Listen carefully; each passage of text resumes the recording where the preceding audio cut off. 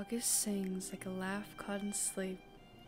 She's the last bow before summer closes the show curtains, before the autumn drapes everything in scarlet and bronze. August is the clover dressed slope and the sky flashing golden teeth. Just as one eye closes below the hill line, the other opens, full and illuminated above the willow trees. Where the geese begin to notice the smaller changes more wind in the grass, less heat on the pond, August lives. August always has her palms open and skyward. Every morning a lesson, each nightfall a promise.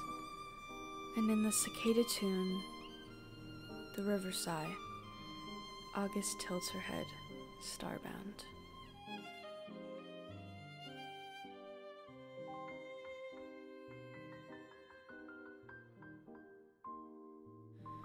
There is a deep inhale, and then, by degrees and in wheat silk, arrives the death of September's hands, taking August by her own.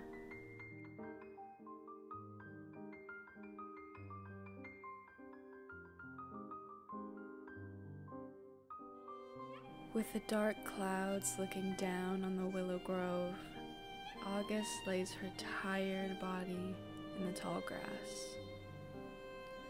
In September, brushing fingers over sun-fair lashes and crossing glowing arms, whispers gently,